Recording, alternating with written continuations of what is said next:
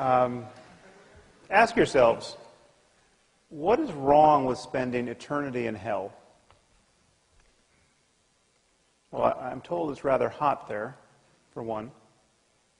Dr. Craig is not offering an alternative view of morality.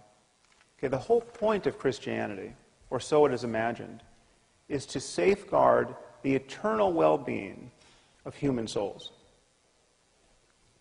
Now, happily, there's absolutely no evidence that the Christian hell exists.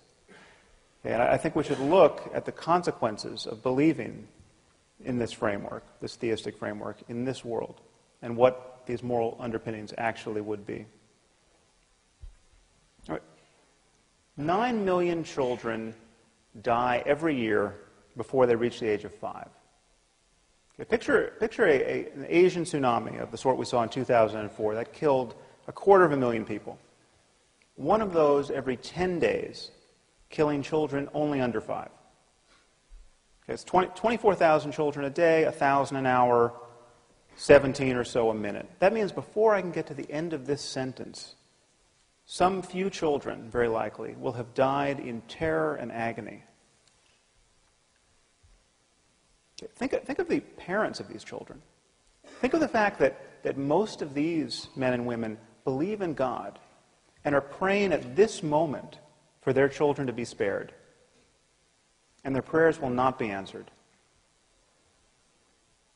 Okay, but according to Dr. Craig, this is all part of God's plan.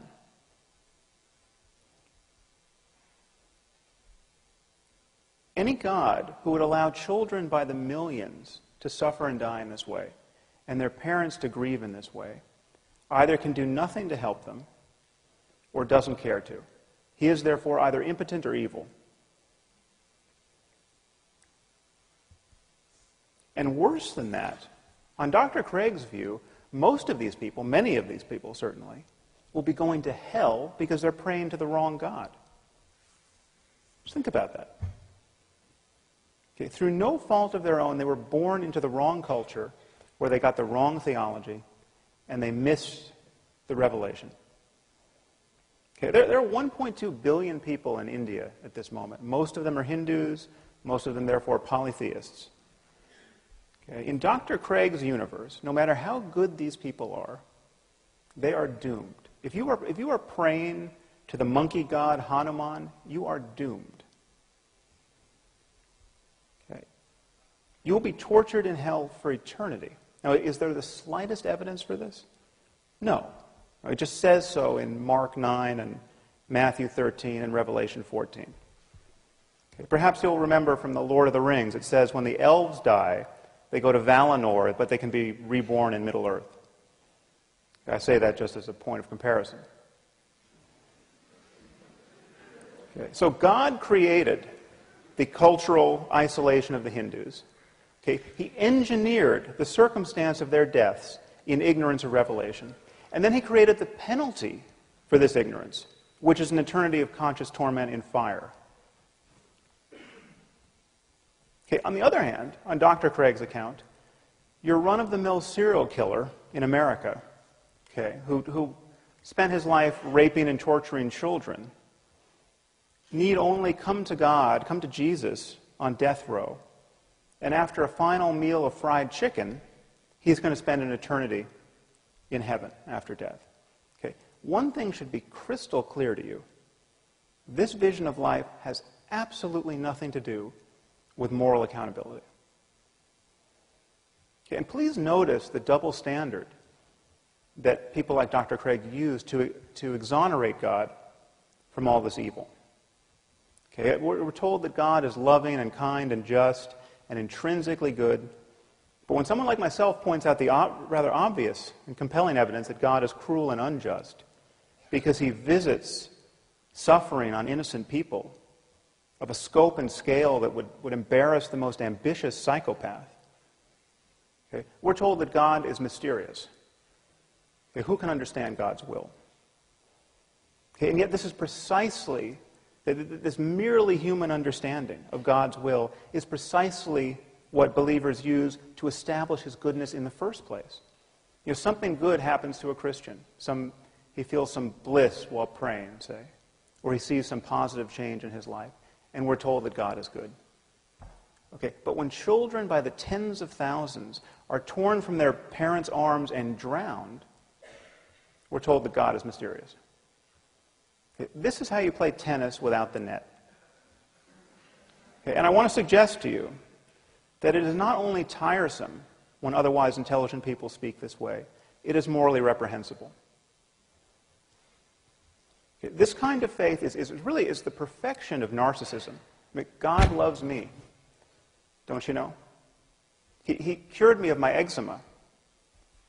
He, he makes me feel so good while singing in church. And, and just when we had given up hope, he found a banker who was willing to reduce my mother's mortgage. Okay.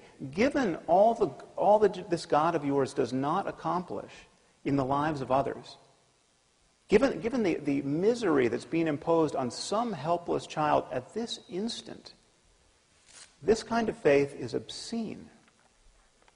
Okay, this, to think in this way is to fail to reason honestly or to care sufficiently about the suffering of other human beings. And if God is good and loving and just and kind, and He wanted to guide us morally with a book, why give us a book that supports slavery? Why give us a book that admonishes us to kill people for imaginary crimes like witchcraft? Now, of course, there's a way of not taking these questions to heart.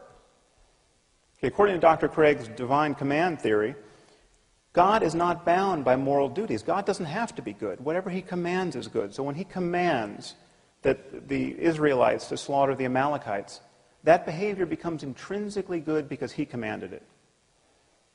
Okay, well, here we're being offered, I'm glad he raised the issue of psychopathy. We're being offered a psychopathic and psychotic moral attitude. It's psychotic because this is completely delusional. There's no reason to believe that we live in a universe ruled by an invisible monster, Yahweh.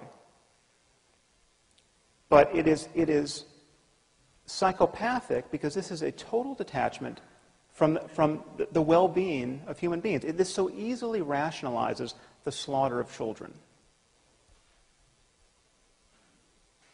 Okay, just, th- just think about the Muslims at this moment who are blowing themselves up, okay, convinced that they are agents of God's will.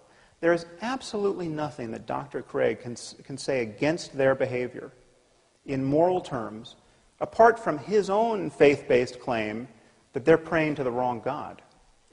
If they had the right God, what they were doing would be good on divine command theory.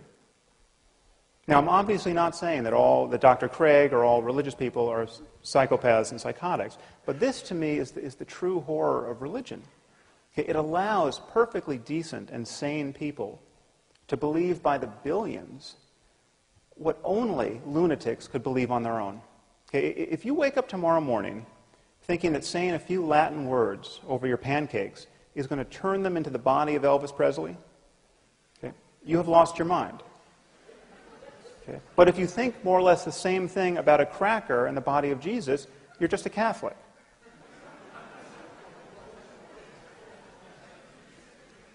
And I'm not the first person to notice that it's a, it's a very strange sort of loving God who would make salvation depend on believing in him on bad evidence.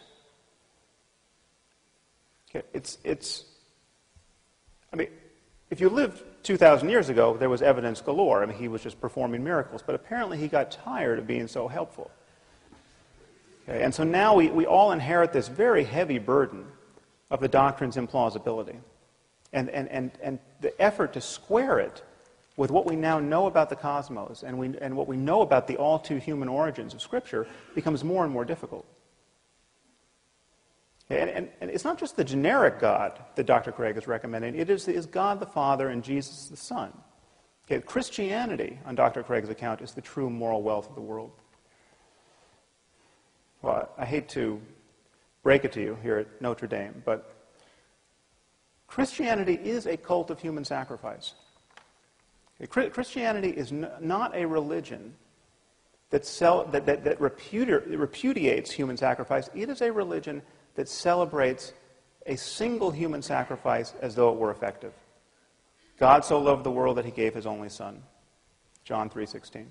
Okay, the idea is that, that Jesus suffered the crucifixion so that none need suffer hell, except those, those billions in India and billions like them throughout history. Okay, this is, this is, this is a stride. This doctrine is a stride, a contemptible history of scientific ignorance and religious barbarism. We, we come from people who used to bury children in, under the foundations of new buildings as offerings to their imaginary gods. I mean, just think about that. There, in, in vast numbers of societies, people would bury children in post holes, people like ourselves thinking that this would prevent an invisible being from knocking down their buildings.